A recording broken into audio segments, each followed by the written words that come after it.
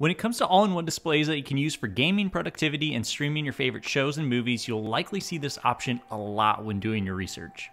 This is LG's 42-inch C3 OLED EVO 4K TV, and today I'm going to take you through the unboxing setup process, what I love about this display, where I think it could improve in future models, and why this is one of my absolute favorite recommendations to my family and friends when they're wanting to upgrade. With that said, let's go ahead and get into it.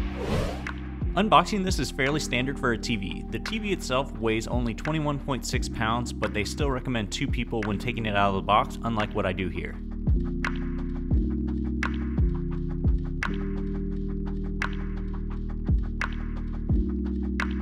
Included in the box, you get the TV, two legs with bolts and inserts, cable clips, quick start guide, a remote control with batteries, IR blaster, and a cover for the back. To put this together, all you need to do is screw in the legs and for the most part, it will be ready to go.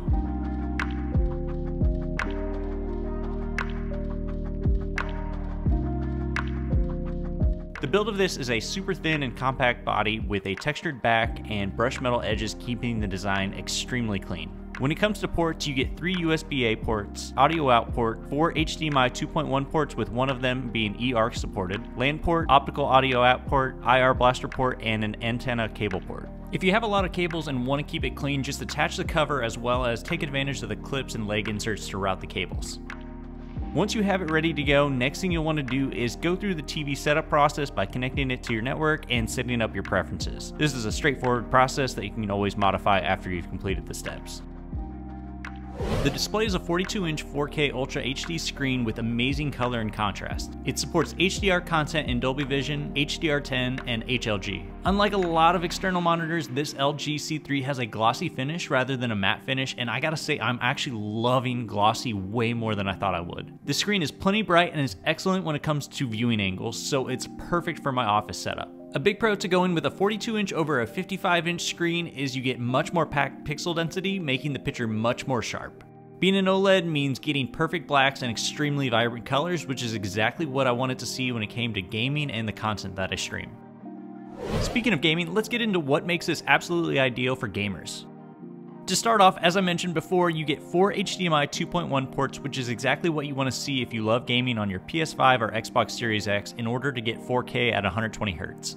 This display features 0.1 millisecond response time, which gives you a competitive edge when playing games like Call of Duty or Fortnite. It also supports VRR, AMD FreeSync Premium, and it's NVIDIA G-Sync compatible. Being that this TV was designed with gaming in mind, LG included their Game Optimizer mode that includes an easy access menu to modify modifying settings based on what game you're playing. Main areas I focus on out the gate is choosing the game genre that matches what I'm playing. In this case, I'll choose FPS for Call of Duty, but there are also options for role-playing, real-time strategy, and sports game. You can also customize everything to your liking.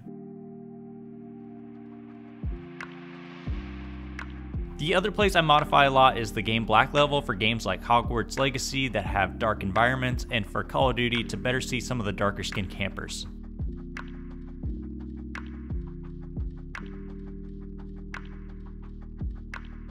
The size of this screen is also perfect for gaming. It's just big enough to have a more immersive feel, yet not too big that you feel like you're moving your head back and forth to see all the areas of the screen. Two areas for improvement with future models for this one. I would love to see them add a DisplayPort, especially for all the PC gamers that want to use this, especially if they don't have HDMI 2.1 ports on their PC. And the other area would be sound. It's not bad, but compared to everything else about the screen, the sound is the only just okay element. Here's just a small sample of what it sounds like. Ollivander always says, the wand chooses the wizard. Is that how he found this place? No, someone in his family knew about it.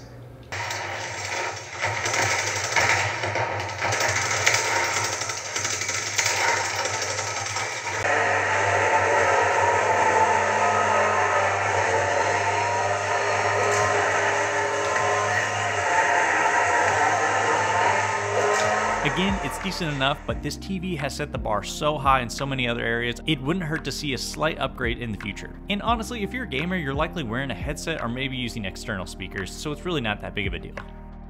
Overall, the combination of vibrant colors, 120Hz display, low latency, and game optimization features will only increase your love for gaming. While a lot of it gives you a competitive advantage, it won't necessarily make you go pro. You need practice, and I mean lots and lots of practice if you want to be good at games. Trust me. Gaming is my top usage for this TV, but how does it perform when it comes to productivity? If you're big into desk setups, you've likely seen a trend of people starting to use 42 inch and 48 inch OLED TVs as their primary monitor. There's a lot of good reasons for this. From a desk setup perspective, aesthetically speaking, this is a big eye catcher due to the size, the thin body, and glossy finish. What makes it a great option is that it's a solid alternative to dual monitor setups due to the amount of screen real estate you get. When it comes to using a MacBook, I use the Magnet app as a way of splitting up the screen similar to how I'd use a dual monitor setup. Keep in mind this was created as a TV so it doesn't have everything you might get with high-end monitors, mainly being that there is no DisplayPort and no Thunderbolt ports.